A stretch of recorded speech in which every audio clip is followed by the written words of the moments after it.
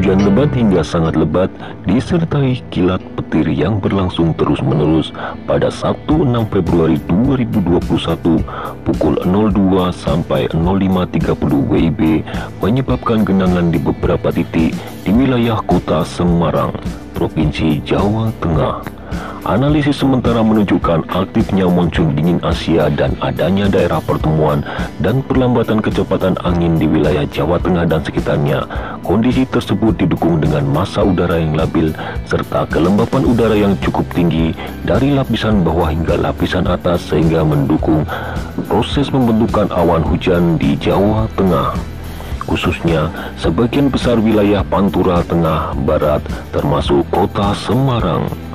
Berdasarkan analisis tersebut, BMKG memperpanjang peringatan dini hujan lebat hingga sepekan ke depan untuk wilayah Jawa Tengah. Dari sudut pandang lain dikutip dari Kompas Ahli Hidrologi Universitas Gajah Mada, Pramono Hadi mengatakan banjir di Semarang memang tidak bisa dihindari karena penurunan muka tanah. Semarang sudah darurat banjir karena land subsidence. Bahkan, empat hari dalam satu minggu, wilayah Semarang bagian utara kota merupakan langganan banjir. Menurutnya, mustahil air dapat mengalir dengan lancar dan tidak terjadi banjir dalam kondisi hujan saat ini.